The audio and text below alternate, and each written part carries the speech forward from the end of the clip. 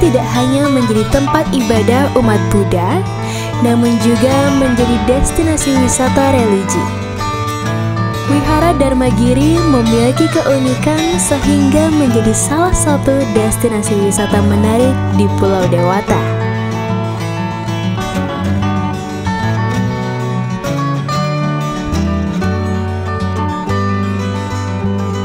Bersama Anindya Trip, mari mengenal Indonesia lebih dekat.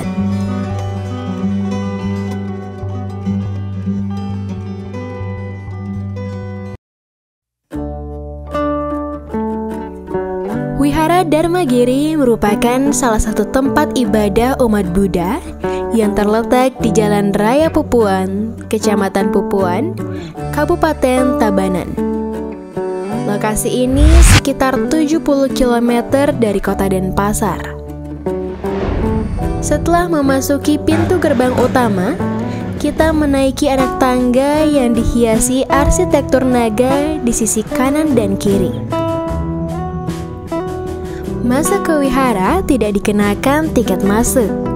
Pengunjung berdonasi sukarela yang digunakan untuk biaya pemeliharaan kebersihan dan kesucian areal wihara. Selain itu, wisatawan diminta mengisi buku tamu.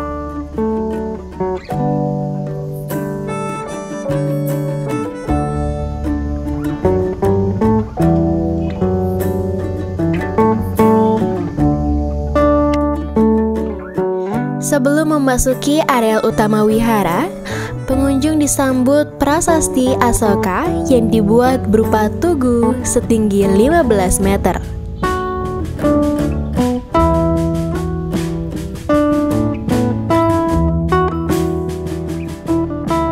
Pada bagian atas tugu Raja Asoka tersebut, terdapat patung empat singa.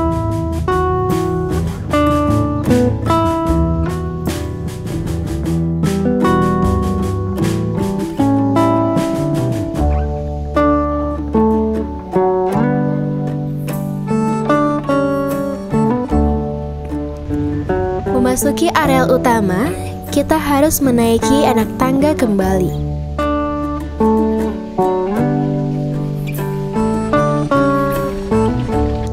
Selanjutnya, kita disambut dua papan tulisan besar berisi perenungan kerat kali dan 14 pedoman hidup manusia.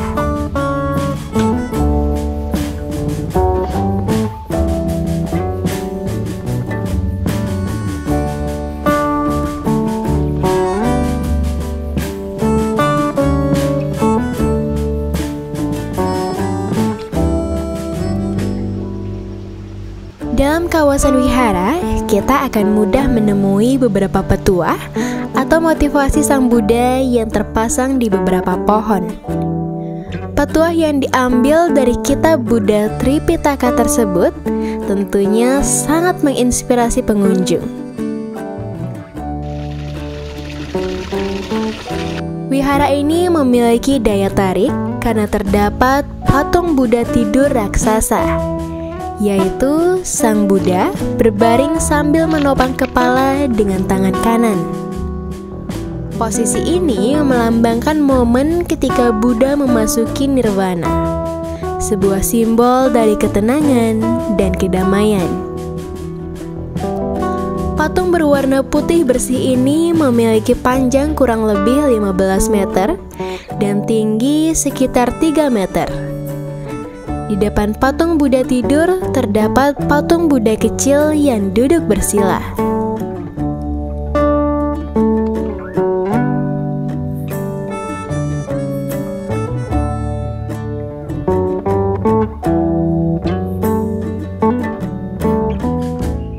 Kita dapat bersembahyang dan berfoto dengan patung Buddha besar yang ada di sini. Pada awalnya, patung Buddha tidur ini tidak ditunjukkan untuk objek wisata. Pelataran yang ada di depannya diperuntukkan untuk tempat meditasi. Seiring berjalannya waktu, keberadaan patung ini menarik minat wisatawan untuk berkunjung. patung ini menjadi ikon wisata religi yang kerap dikunjungi wisatawan lokal maupun asing. Kemegahan dan keindahan patung Buddha tidur ini memerlukan waktu pembuatan yang relatif lama. Pada tahun 2010, proporsi patung pertama dianggap tidak sesuai sehingga harus dibongkar. Selanjutnya, dilakukan perbaikan dengan mengacu pada patung yang ada di Candi Mendut, Magelang, Jawa Tengah.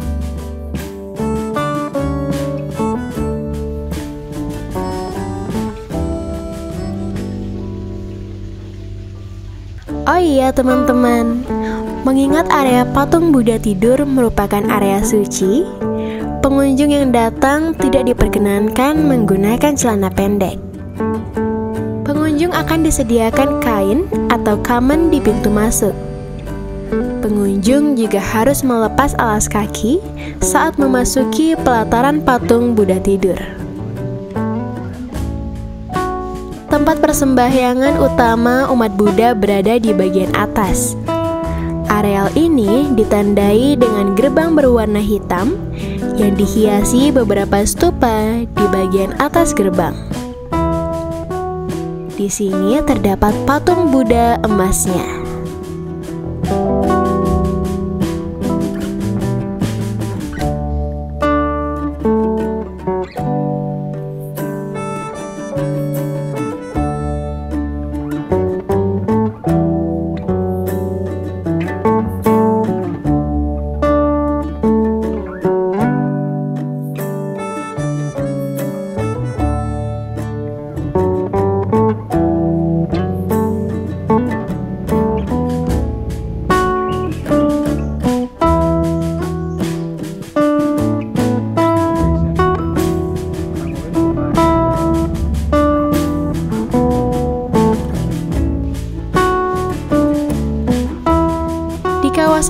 Wihara juga terdapat Buddha yang duduk di atas lingkaran badan ular dan bunga teratai dengan berpayung tujuh buah kepala ular kobra.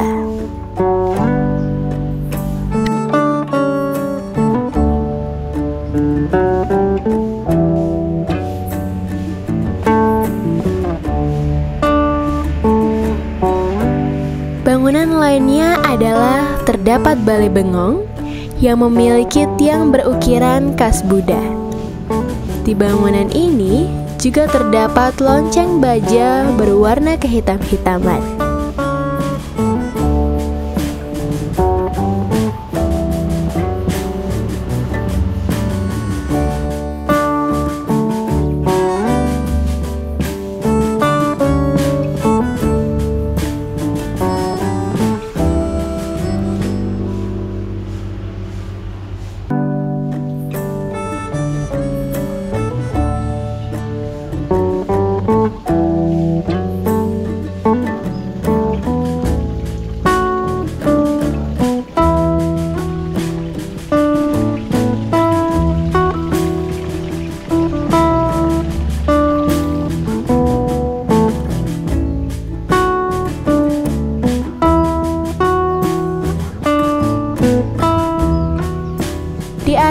Tempat pengisian buku tamu, kita bisa melihat ruang pertemuan, tempat souvenir, dan area terbuka yang dihinggapi puluhan burung merpati yang jinak.